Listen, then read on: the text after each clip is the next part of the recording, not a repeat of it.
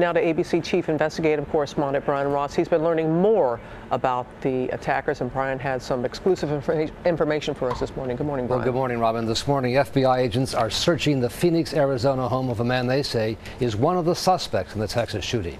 A senior FBI official told ABC News the suspect's name is Elton Simpson, a 30-year-old man convicted five years ago in a terror investigation, but placed on probation and allowed to remain free.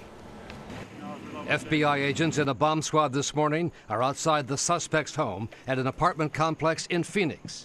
Officials say they believe that the suspect, Simpson, is the person who sent out several Twitter messages that appear to have come just prior to the Texas attack on Sunday. The bro with me and myself have given bayah to Amir al Mu'minin. May Allah accept us as mujahideen.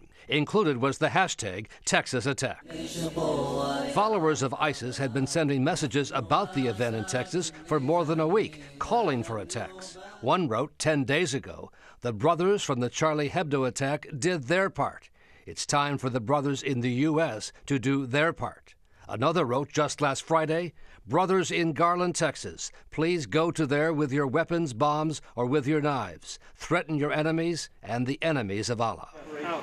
This morning, some residents at the Phoenix apartment complex have been told to leave their homes until the FBI bomb squad can give an all clear about the suspect's apartment.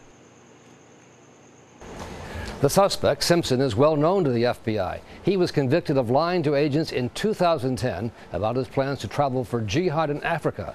But a judge ruled then the government did not adequately prove he was going to join a terror group and put him on probation instead of sending him to jail. And again, the security officer that was shot has already been released from the hospital. That's right. All right. Thank you, Brian.